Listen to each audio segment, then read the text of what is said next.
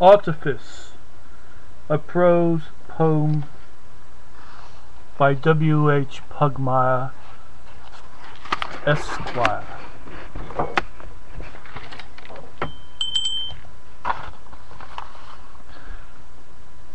I breathe into the artificial air where pseudo stars blink at me from above, their false light trapped Within these spools my eyes. Within my eyes I hold a fractured world Where toys of blood and bone engage in play.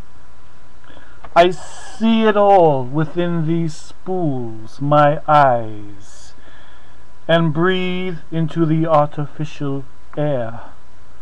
My breath escaping makes a little sound that eddies in the manufactured sky in which I watch the frolic of false stars that catch the lifeless light of one dead moon.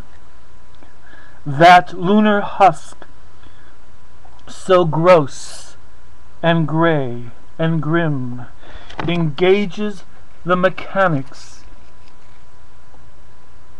of my eyes, these viscid spools that blink into false light, the dimming light of imitation stars. I weave my paper hands into the air and aid degeneration in its task as quality is quashed and time is mocked within a realm where progress is denied. The pseudo stars die in the sickly sky. The ruined moon eclipses into dust. The toys of blood and bone, extinguish gargoyles, lie forgotten on the frozen ground.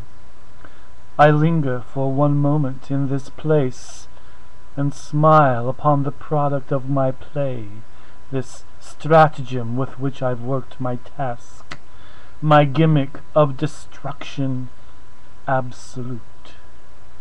Content, I shut these spools that are my eyes and breathe into the artificial air as dust and darkness cloak my paper hand.